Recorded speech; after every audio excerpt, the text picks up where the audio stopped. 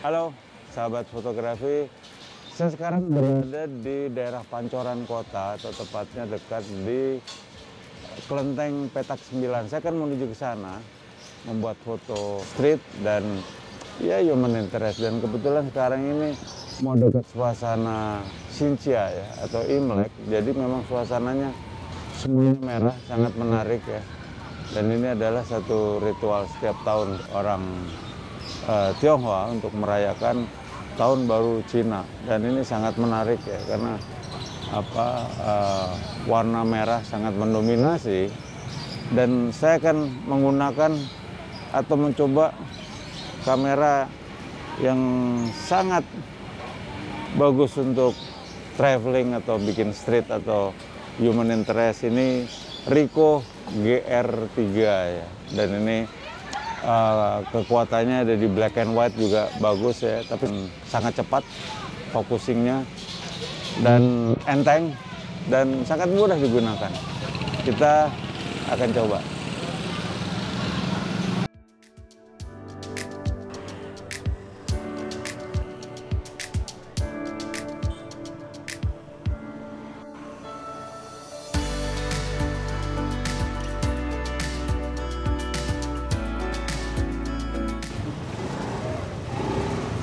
memotret uh, street gini memang harus cepat dan jangan menunda lama. Nanti biasanya model akan bereaksi. Nah, saya akan melakukan gerakan cepat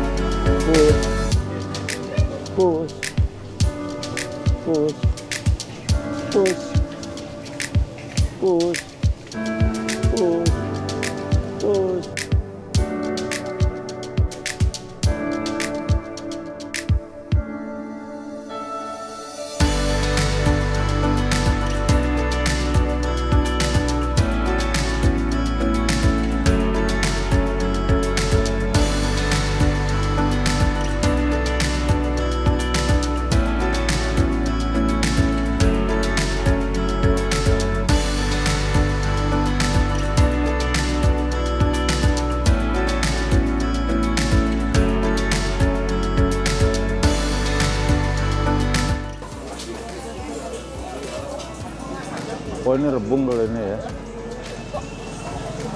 Rebung cung cungko. Oh di, di Oh ya. Hmm.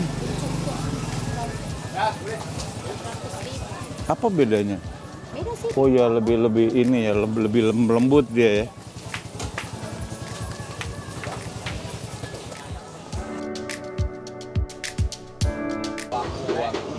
Di sini banjir nggak bu? Nggak banjir ya? Enggak, kita dari istana om. Oh, Kopi, banjirnya kalau di mana-mana berbanjir baru kebagian di sini. ah. Kalau di mana mau nampung baru ke sini bagian.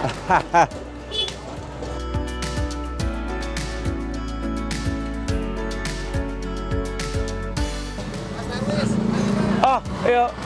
Nanti om. Sama saya ke Iya, Oke, oke.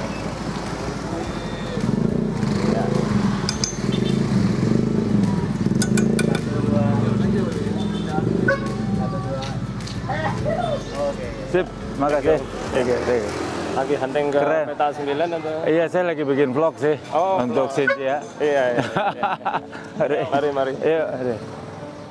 Ya, kadang-kadang kalau kita di tempat umum seperti ini kita bertemu dengan kawan-kawan atau saudara itu sangat menarik.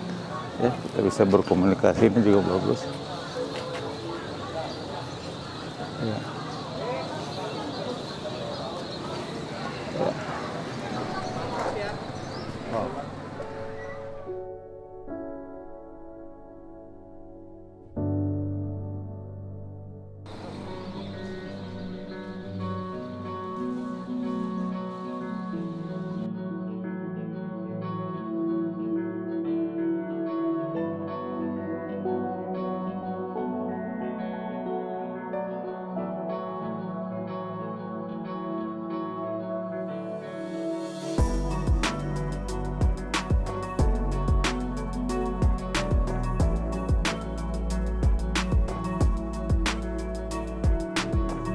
Halo sobat fotografi, tadi kita kan udah jalan ya. Jalan saya ngambil pada saat jalan saya banyak dapat human interest dan street ya. Tapi nanti saya akan terakhir ngambil lagi on the way back ke ini ya, ke mobil. Tapi sekarang kebetulan ada model namanya Uci. Jadi eh, saya akan coba mengcapture Uci di sekitar sini dan kebetulan kan dekat Sincia nih. Jadi ya pakainya juga kebetulan pas ada di sana yang tersedia saya beli. Tadi saya gunakan kebetulan pas. Ya udah kita akan motret di sana eh, dengan lokasi di sekitar di sini dengan menggunakan available light ya. Saya tetap menggunakan Ricoh GR 3 oke kita lihat ya. Yuk, yuk. wow ini menarik ini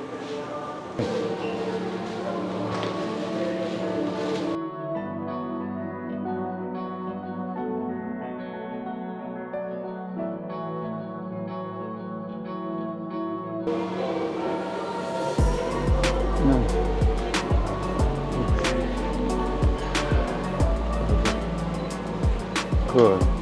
Tahannya bagus. Nah. Lihat sana tuh. Ah, stop. Matanya ke sini. Ah, stop. Lihat sini. Nah, lihat. Ah, stop.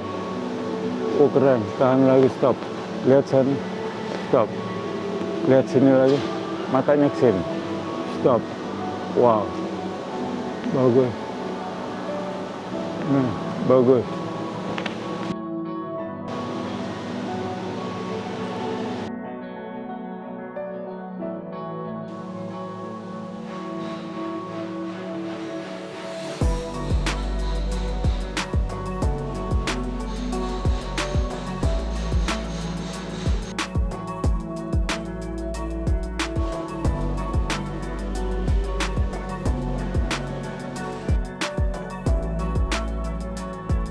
Ya, nah. Bagus, tahan. Yes. Tahan ya, bagus. Lihat ke sana. Nengok lagi, matanya sini. Matanya ke tangan saya. Ya, nah. Mata balik ke kamera. Cool. Bagus. Nah. Bagus. Cool. Oh keren. Lihat sini bagus.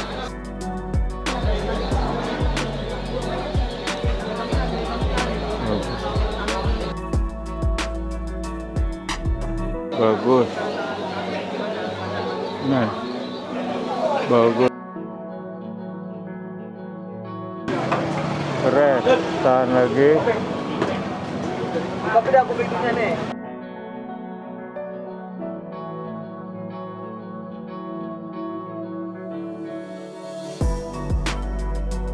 Cool. Yes.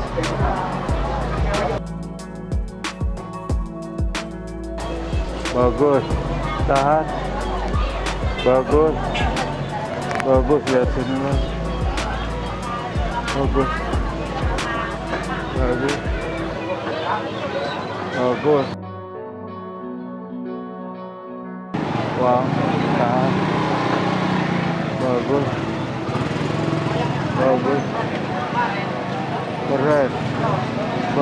Lihat sini nih, kayak ngintip gitu dorong terus lihat sini. Asap itu bagus. Tahan.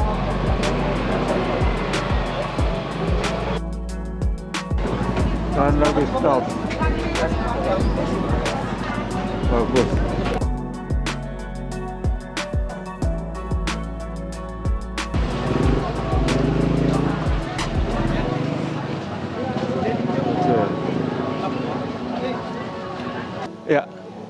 Oke sahabat fotografi, eh, kita sudah masuk dari akhir eh, episode ini ya. Kita eh, seharian tadi di Pancoran dan di Kelenteng Petak Sembilan.